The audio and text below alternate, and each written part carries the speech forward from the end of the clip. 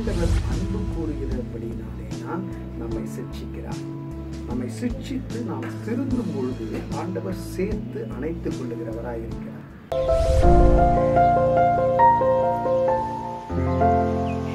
ஒரு தகப்பன் தன்னுடைய பிள்ளையை சிநேகிக்கும் பொழுது அவர்கள் மீது அன்பு செலுத்தும் பொழுது அவர்கள் மீது நேசம் கொள்ளும் பொழுது அவர்களை சிக்ஷிக்கவும் செய்கின்றார்.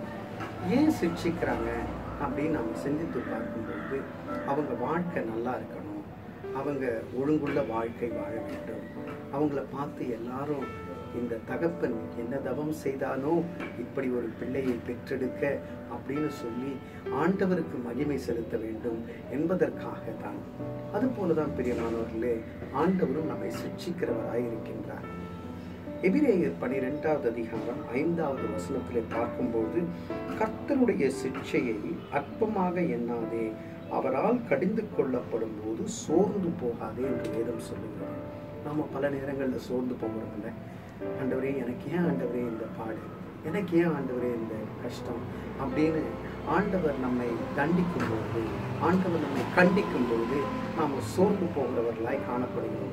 ஆனால் அடுத்த வசனம் நம்மை தேற்றுகின்றதாய் இருக்கின்றது. எப்படின்னு பார்க்கும்போது ஆறாவது வசனத்திலே கர்த்தர் எவனிடத்தில் அன்பு கூறுகிறாரோ அவனை அவர் சிக்ஷித்து தாம் சேர்த்து கொள்ளுகிற எந்த மகனையும் தண்டிக்கிறார்.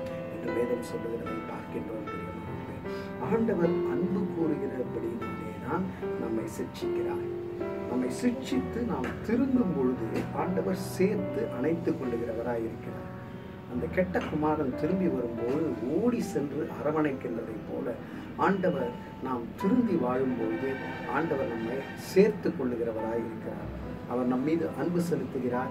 அவர் நம்மை சேர்த்து கொள்ளுகிறபடினாலே இன்று நம்மை சிக்ஷிக்கிறார் சோர்ந்து போகாமல் இந்த நாளை நாம் ஆரம்பிப்போம். God morning